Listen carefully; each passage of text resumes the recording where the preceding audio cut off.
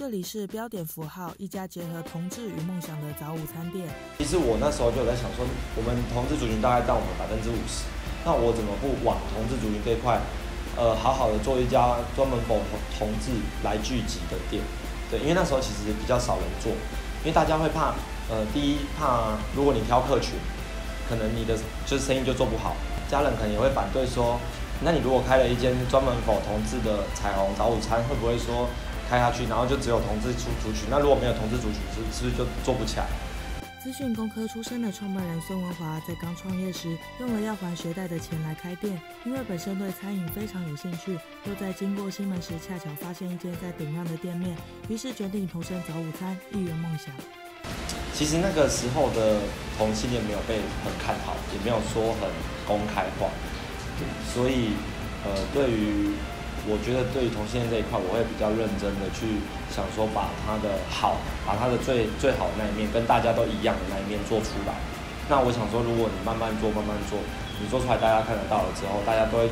就是会对同性恋改观。在经验和财力都不足的草创时期，他们靠着支持活动来推广标点符号，包括玄运时免费提供早餐，以及同志游行的饮料送暖，都让更多人知道这里。在同婚事件时，也制作了凉感毛巾，让大家可以绑在头上当做抗议布条。脸书上也是都看到朋友都会打卡什么的，所以这边真的是算是圈内很有名的一个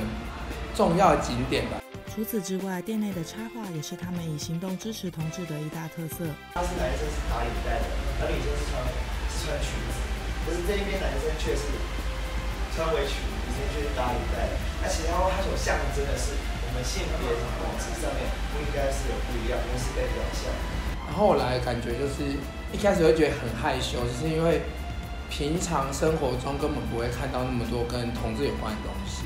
后来来到这边就会觉得，哎。这真的是对我们是一个可以聚集在一起的地方，感觉好像可以让大家互相交流，或是你有什么问题问老板，老板可能把他的经验告诉你。